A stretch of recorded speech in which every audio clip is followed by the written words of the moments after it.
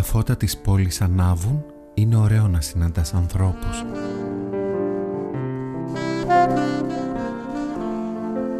Η ζωή είναι γλυκιά και οι στιγμές μοναδικές, όταν οι άνθρωποι μοιράζονται τις ιστορίες τους. Φέτος θα συναντάμε ανθρώπους και θα μαθαίνουμε αυτά που έχουν να μας πούν, γιατί ποτέ δεν μαθαίνεις μιλώντας, μαθαίνεις ρωτώντας. Ο Βαγγέλης Βιωδάκης είναι ηθοποιός. Έχει παίξει σε πάνω από 50 θεατρικές παραστάσεις. Δούλεψε στο σινεμά και την τηλεόραση. Η κρίση τον έκανε να επιστρέψει στο Ρέθυμνο. Δεν το έβαλε όμως ποτέ κάτω. Δεν τα παράτησε. Απόψε μας λέει πως είναι να ζει στον παράδεισο.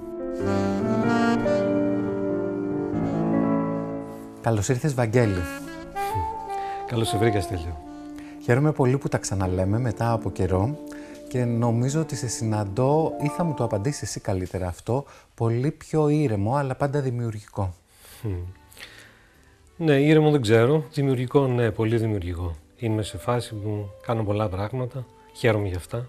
Δεν έχει επιδράσει αυτό το κλίμα της Κρήτης πολύ θετικά, δεν σε έχει χαλαρώσει η μόνιμη πια παρουσία σου στο νησί; Ή είσαι ανήσυχη φύση, είσαι στην τζίτα μόνιμα, πάντα το μυαλό σου σκέφτεται και διεργάζεται project, σχέδια, όνειρα.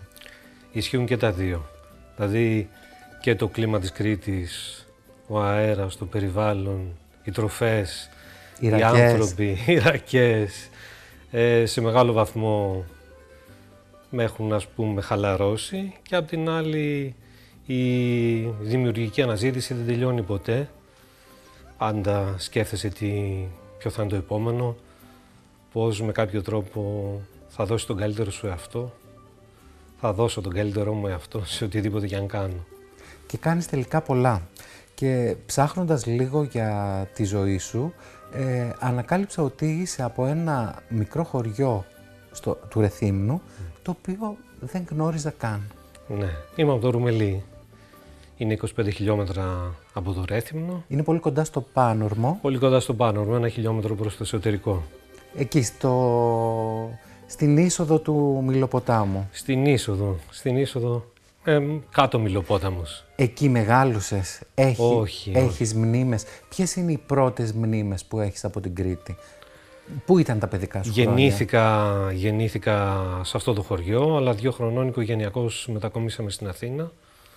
Τον καιρό εκείνο, από ό,τι θυμάμαι να λέει ο πατέρας μου, τον καφέ στον καφενείο τον πλήρωνε μόνο ο παπάς και ο δάσκαλος, που είχαν μισθό.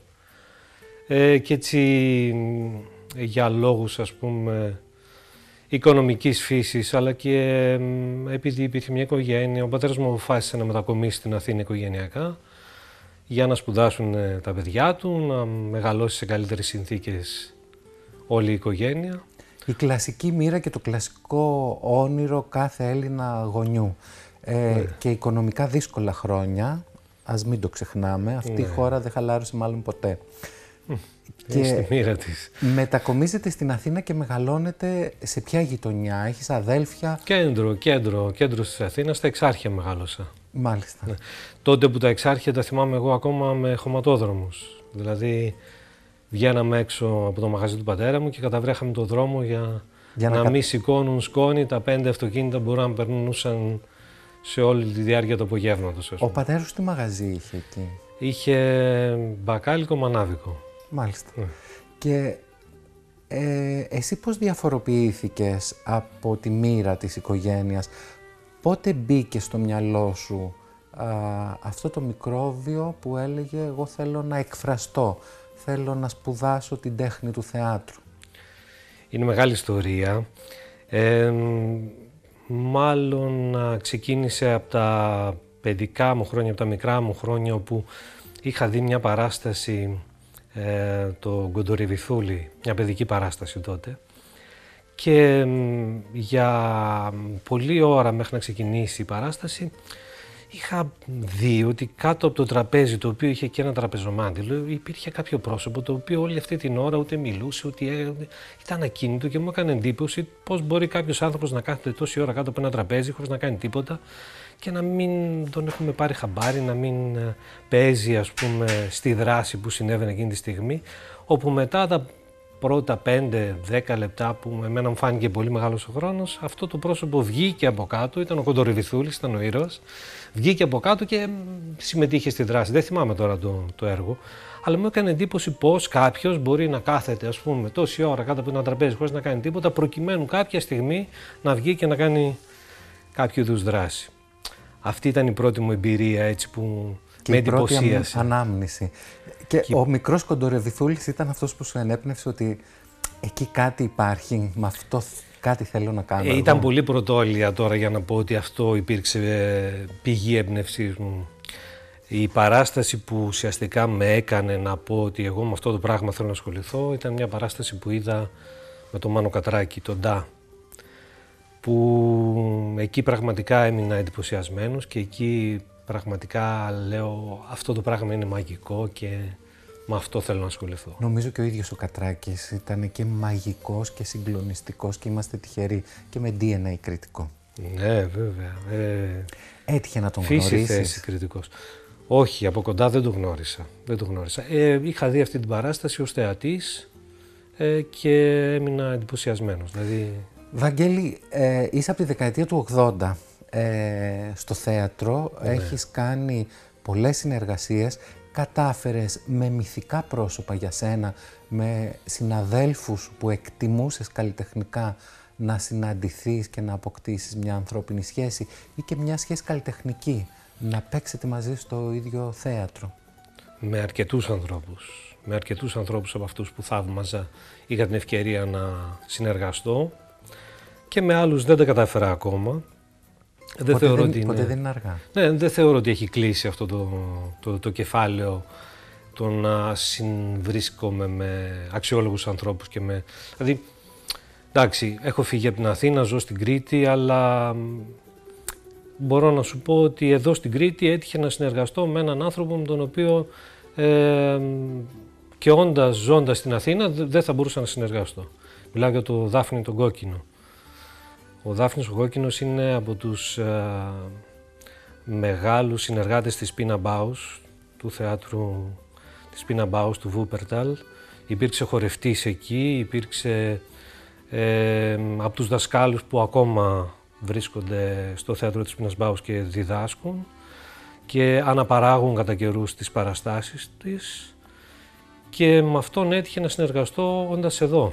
Δηλαδή ήμουν στο πάνω μου, ο Δάφνης έκανε σεμινάριο και είχα τη χαρά να είμαι βοηθός του. Τη χαρά και την τύχη να είμαι βοηθός του, γιατί πραγματικά. Και έτσι διασταυρώθηκαν οι δρόμοι σας. Ναι. Ε, είναι καταπληκτικός ο Δάφνης.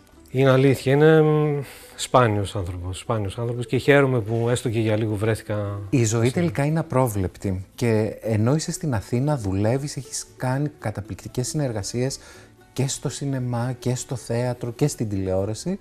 Ε, κάποια στιγμή αυτή η απρόβλεπτη ζωή μας ξαναφέρνει ζόρια και έρχεται μια οικονομική κρίση που αλλάζει τα φώτα σε όλους μας.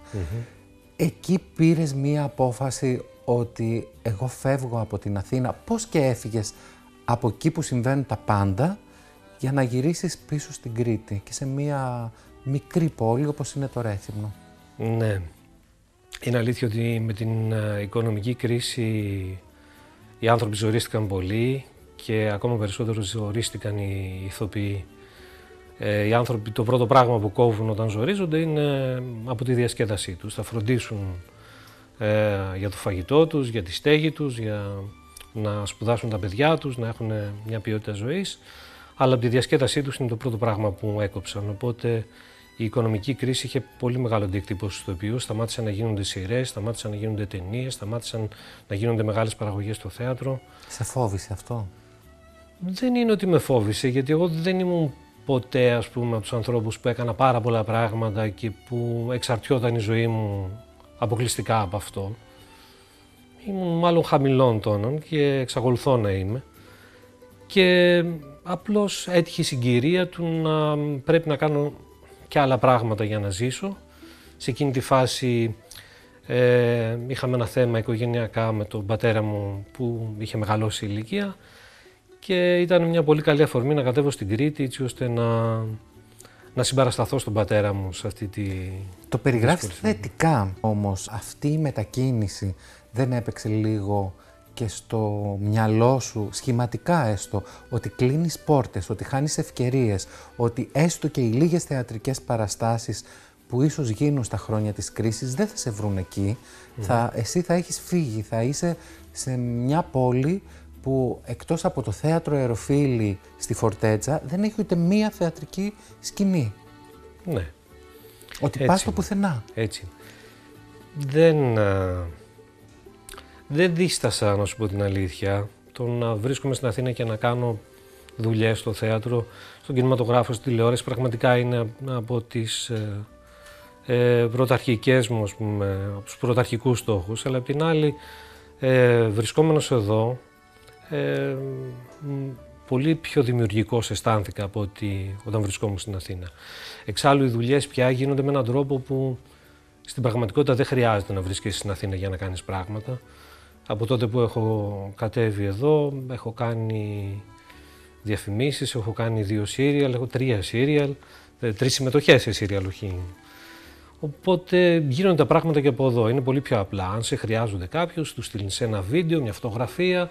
Αν πραγματικά κάποιος σε θέλει, ε, ένα καράβι, ένα αεροπλάνο, βρίσκεσαι κάτω, κάνεις τη δουλειά σου, γυρίζεις στον τόπο σου. Ναι, αυτό είναι το λογικό. Δεν είσαι και αποκλεισμένος και σε απολαύσαμε ε, και στο λόγο τιμής. Ναι.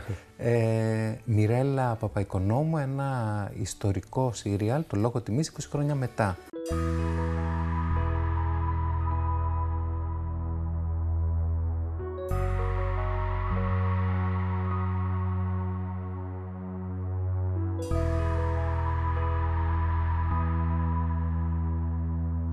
Μου λείπει η Πάτρα Τσίου.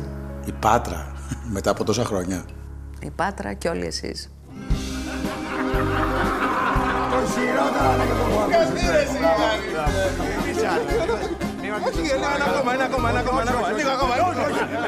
Στην υγειά του Γιώργου. Το ξέρω ότι φέρθηκα πολύ σκληρά. Παιδί έχω. Την Άννα. Με τη μαμά γιατί χωρίσατε; Γιατί εδώ που ζω εγώ, η μάνα σου δεν θα ερχόταν ούτε για διακοπές και την έχω το κολλητό μου στο πλευρό μου, τον έχω απέναντί μου. Τον κολλητό σου δεν θα τον βρεις ποτέ απέναντί σου. Σοβαρά;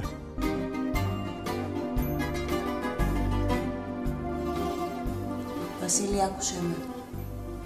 Ο χρόνος είναι με το μέρος σου. Όσο καθυστερεί αυτή η συνάντηση, τόσο ο θυμός θα ξεθυμένει και τη θέση του θα παίρνει λογική. Να τίποτα είμαι. Και εγώ γιατί είμαι εδώ, ρε. Ε; Για σένα, είμαστε αδέρφια εμείς. Σε έναν ένα λόγο τιμής Βασιλή. Διαδίου ρε μπαγάσα. Διαδίου. Έχει και αυτό ενδιαφέρον. Για τους ανθρώπους της γενιάς μου έχει ένα παραπάνω γιατί ήταν από τις σειρές που βλέπαμε φανατικά και τώρα μεγαλώσαμε εμείς, μεγαλώσατε κι εσείς. Μεγαλώσαμε όλοι μαζί. έτσι είναι, έτσι. Και πώς έγινε αυτή η πρόταση; Ε,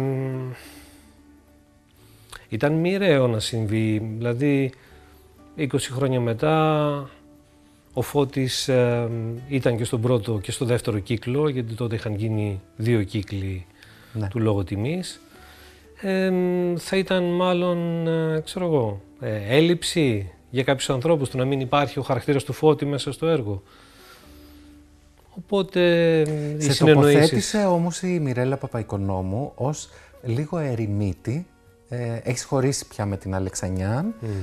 έχετε κάνει ένα παιδί, μία κόρη, είσαι μπαμπάς και είσαι ένας τύπος λίγο με ένα φυζίκρο βυσόνα, σαν ναυαγός, στην ναι. Κρήτη. Ναι. Ε, δανείστηκε στοιχεία από την πραγματική σου ζωή η Μιρέλα Παπαϊκονόμου για να σου γράψει την εξέλιξη του ήρωα, του ρόλου; Νομίζω ότι το κάνει και τότε το έκανε και τότε δηλαδή στον πρώτο κύκλο πάντα υπήρχαν συζητήσεις ας πούμε που μέσα από αυτές τις συζητήσεις, με ένα, με ένα καφέ που πίναμε και κουβέντες που κάναμε, έβρισκε στοιχεία που τα ενσωμάτωνε στο, στο σενάριο και τον ίδιο, τον ίδιο δρόμο έχει ακολουθήσει και τώρα.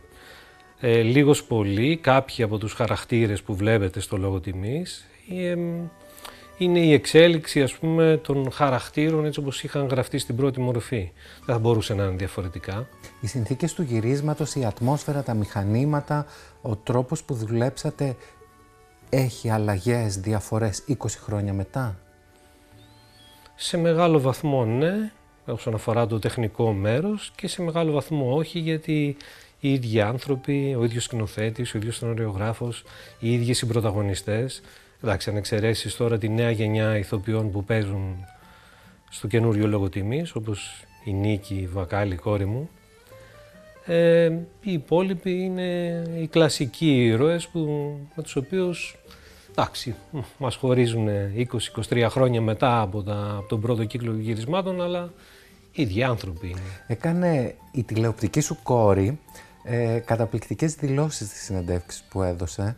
Ε, απόλαυσε τόσο πολύ το γύρισμα που έκανε μαζί σου εδώ στην Κρήτη, που δηλώνει... Δεν ήταν εδώ στην Κρήτη, ήταν στα Κύθυρα. Στα Κύθυρα γίνανε. ναι, ναι. Μας κορυδεύατε κανονικά με την Εντάξει, Μιρέλα ε, σύμβαση, σύμβαση, τι να κάνουμε. Είναι πιο εύκολο να μετακινηθώ εγώ, ας πούμε, ε, στα Κύθυρα, όπου μπορούσε το συνεργείο να είναι σε πιο κοντινή απόσταση από την Αθήνα, παρά να έρθει ολόκληρο το συνεργείο εδώ για να... Όταν λέμε συνεργείο, μιλάμε τώρα για φαντάσου 40-50 άτομα, έτσι. Είναι η απόσταση. Για να δούμε λίγες σκηνές από ένα επεισόδιο. Και έλεγε ότι είσαι από τους πιο συναρπαστικούς ηθοποιούς που έχει συνεργαστεί, ε, ότι αισθάνεται σαν να έχει όχι μόνο καλή τεχνική, αλλά και προσωπική συγγένεια μαζί σου. Ναι. Έτσι είπε το τηλεοπτικό σου παιδί. Ναι. Δεν είναι συγκινητικό αυτό, συνάδελφοι να σε εκτιμάνε και να λένε τέτοια λόγια; Μ, ναι, είναι συγκινητικό, αλλά απ' την άλλη με την Νίκη συνδεθήκαμε πολύ μέσα από αυτό το ρόλο πατέρα-κόρης και ε, το δουλέψαμε, δηλαδή ο λίγος χρόνος που είχαμε στα Κύθρια μέχρι να γίνουν τα γυρίσματα είχε αρκετές πρόβες μεταξύ μας και αρκετή τριβή για να βρούμε αυτή τη σχέση η οποία μέχρι τότε δεν υπήρχε, δεν ήξερα καν ε, ποιο πρόσωπο θα κάνει την κόρη μου. Οπότε ε, χρειαζόταν πολλή δουλειά μεταξύ μας έτσι ώστε η σχέση αυτή να είναι όσο δυνατόν πιο αληθοφανής, πραγματική, ζωντανή. Και αυτό χτίζεται με πρόβες πριν γυριστεί μια σκηνή. Πώς καταφέρνεις να έχει η ερμηνεία σου τόσο αλήθεια και η σχέση να χτιστεί; Ναι, Μ, πρόβες, πρόβες, πρόβες, πρόβες, πολύ πρόβα. Και νομίζω πρόβες κάνεις γενικώς και στο Ρέθυμνο που είναι η βάση σου.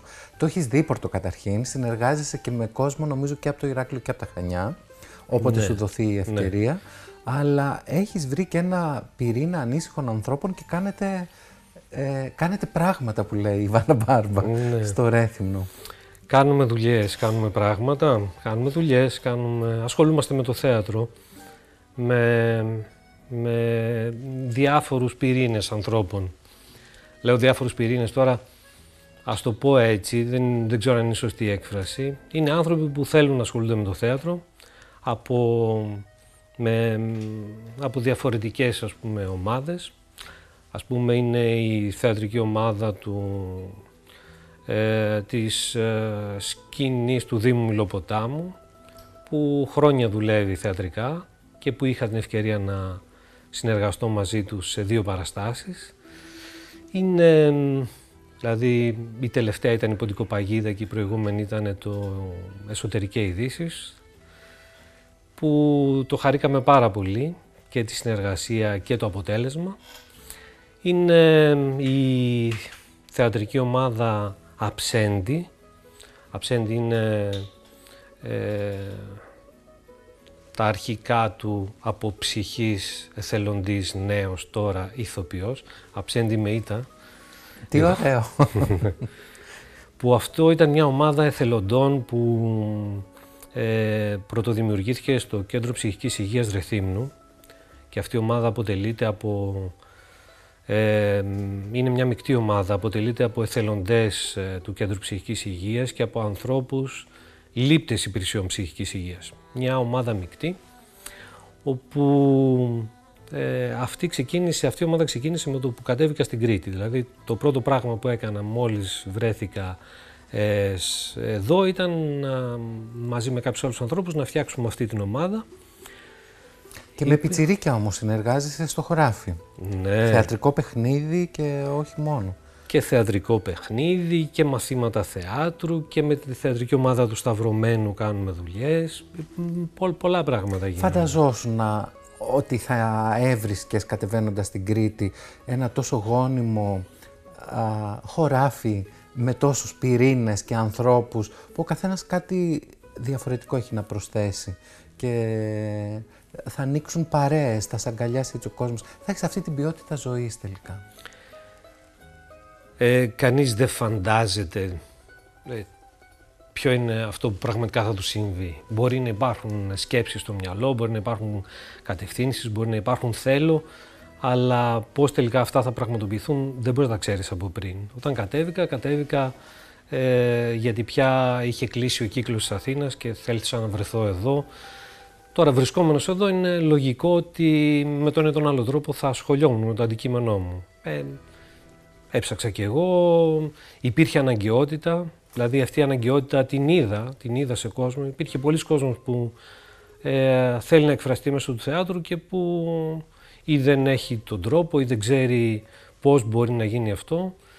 Καλώς κακώς κουβαλάω μια εμπειρία, μπορώ να, να την κοινωνήσω, μπορώ να τη μεταδώσω, μπορώ να βρεθώ με ανθρώπους και να ε, συνεργαστούμε στο να εκφράσουμε το πάθος μας για το θέατρο. Φοβόμαστε όμως τις αλλαγές και καμιά φορά μας μπλοκάρουν, έστω και αν αυτό είναι μια μετακίνηση ή κάτι άλλο πιο ριζοσπαστικό ε, εσένα σου βγήκε καλό και έχω την αίσθηση ότι αν σου ζητήσω να προσμετρήσεις τα θετικά αυτής της μετάβασης από την Αθήνα εδώ, ε, μάλλον σε ωφέλησε.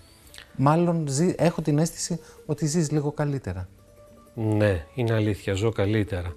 Ωστόσο, όσον αφορά το φόβο, ο φόβος είναι κάτι που πηγάζει από την έλλειψη γνώσης όταν γνωρίζεις κάτι, ε, ο φόβος μπαίνει στην άκρη. Δηλαδή όσο περισσότερο μπαίνεις στη διαδικασία του να γνωρίσεις τους γύρω σου, τον εαυτό σου, ε, τα πράγματα που θεωρείς ότι σε αφορούν, τόσο πραγματικά ο φόβος παίρνει τη διάσταση που έχει, δηλαδή ούτε τόσο ώστε να ε, καταπιέζει τη ζωή σου, αλλά ούτε και τόσος που να να, να σε κάνει ας πούμε να είσαι απερίσκεπτος, παίρνει μια σωστή θέση και από εκεί και πέρα προχωράμε. Η γνώση είναι ένα αντίδοτο του φόβου, οπότε κουβαλώντας μια γνώση εδώ και μοιράζοντάς την όσο μπορώ, όσο, όσο έχω τη δυνατότητα, πιστεύω ότι μαζί με άλλους ανθρώπους ξεπερνάμε το στάδιο του φόβου και πάμε προς το στάδιο το δημιουργικό. Βαγγέλη, ήσουν πάντα έτσι ένα λογικό άτομο, είχες φιλοσοφήσει τις κινήσεις σου και τη ζωή σου; Ήταν και το, η τέχνη του θεάτρου, οι ρόλοι, οι χαρακτήρες, η ψυχοσύνθεση ε, του κάθε ρόλου που σου άνοιξαν άλλες πόρτες, που σε έκαναν το μυαλό σου ακόμα πιο γόνιμο; Ναι, δεν μπορώ να ξέρω. Για μένα αυτά ταυτίζονται. Δηλαδή η ζωή μου ταυτίζεται με το θέατρο και πραγματικά η εμπειρία μου η θεατρική μου έχει ανοίξει δρόμους, μου έχει ανοίξει ε, τον τρόπο που σκέφτομαι, μου έχει, με έχει διευρύνει ας πούμε τους ορίζοντές μου όσον αφορά τα πιστεύω, τα θέλω. Σε τα... άλλαξε σαν άνθρωπο.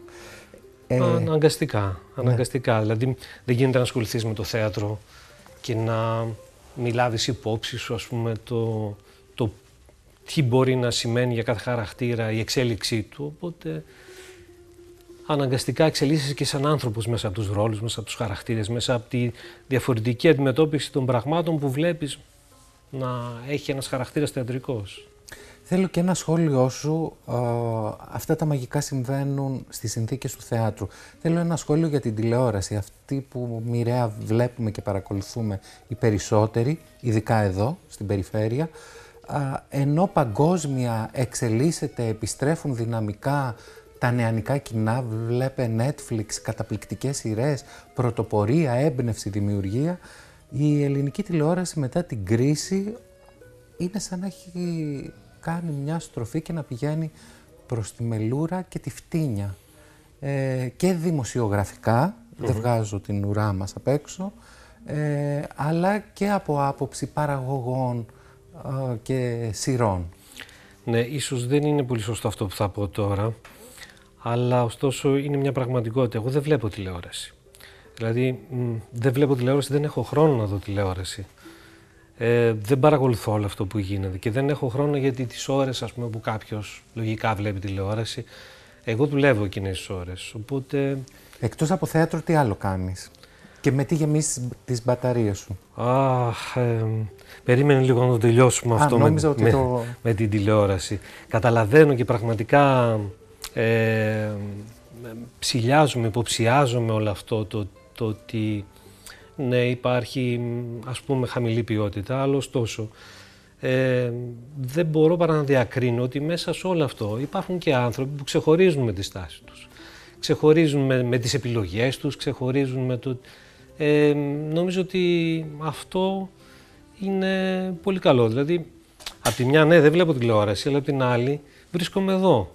Οπότε δεν μπορώ παρά να πω ότι ναι υπάρχουν κάποια πράγματα τα οποία ξεχωρίζουν και τα οποία αξίζει ο κόσμος και να τα δει και να τα παρακολουθήσει και να ε, τα υποστηρίξει κατά κάποιο τρόπο και την ύπαρξή τους και το να συνεχίσουν να υπάρχουν αλλά και να κάνεις τις επιλογές του. Η τηλεόραση έχει κουμπιά, αλλάζεις κανάλι. Δεν, αν κάτι πραγματικά πιστεύεις ότι αναστατώνει την ψυχή σου, δεν σου προσφέρει κάτι, δεν, ε, δεν, ε, δεν είναι κάτι που να, να νιώθεις με αυτό μια ανάταση, δεν έχει λόγο να το παρακολουθήσεις.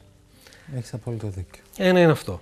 Τώρα, κάποιος που βρίσκεται ας πούμε σε ένα χώρο όπως είναι η Κρήτη, έχει πραγματικά πολλές επιλογές να κάνει. Επιλογές που εγώ, αν ζούσα στην Αθήνα, δεν θα μπορούσα να τις κάνω. Ε, ας πούμε, έχω φίλους που έχουν βάρκες, πάμε για ψάρεμα. Ε, αυτό από μόνο του είναι, είναι κάτι που σου προσφέρει, μια γαλήνη. Ε, ασχολούμαι με τις ελιές μου. Έχω ελιές, τις καλλιεργώ, ε, κλαδεύω, λιπαίνω, μαζεύω, όλη αυτή τη διαδικασία. Έχω λίγες μέλισσες, ασχολούμαι με αυτό. Τελευταία βρέθηκα και με ένα άλογο. Ε, δηλαδή θέλω να πω η αγροτική ασχολία, οι αγροτικές δουλειές σε σχέση με τις καλλιτεχνικές συνδυάζονται πάρα πολύ αρμονικά. Το ένα συμπληρώνει το άλλο και το να βρίσκεται κάποιος και να ζει στην Κρήτη, τουλάχιστον σε προσωπικό επίπεδο το λέω, να βρίσκομαι εγώ στην Κρήτη, ε, σε σχέση με το να βρίσκομαι στην Αθήνα και απλώς να περιμένω να χτυπήσει το τηλέφωνο για να κάνω μια επόμενη δουλειά, το βρίσκω πολύ πιο δημιουργικό, πολύ πιο ανθρώπινο, πολύ πιο στα μεγέθη που τουλάχιστον ηλικιακά με εκφράζουν αυτή τη στιγμή, γιατί καταλαβαίνω κιόλας ότι όταν κάποιος είναι νέος και μ, θέλει ας πούμε, να μάθει πράγματα, να μπει στη λειτουργία του, να κάνει καριέρα, εντάξει, μοιραία θα πάει στην Αθήνα, αλλά εγώ Θέλει και τη φασαρία. ναι. Εγώ έχω περάσει από αυτό το επίπεδο. Τα έκανα όλα αυτά. Έχει κλείσει αυτός ο κύκλος. Βρίσκομαι σε ένα κύκλο εδώ που ε, πιστεύω ότι αυτά που έχω μάθει μπορώ και να τα μεταδώσω και θέλω να τα μεταδώσω και υπάρχει, υπάρχει κόσμος εδώ που διψάει Η βάση σου είναι το Ρέθυμνο ή το χωριό; το χωριό. Το χωριό, ε. Ναι, ναι. Λοιπόν, θέλω να σε ευχαριστήσω πολύ.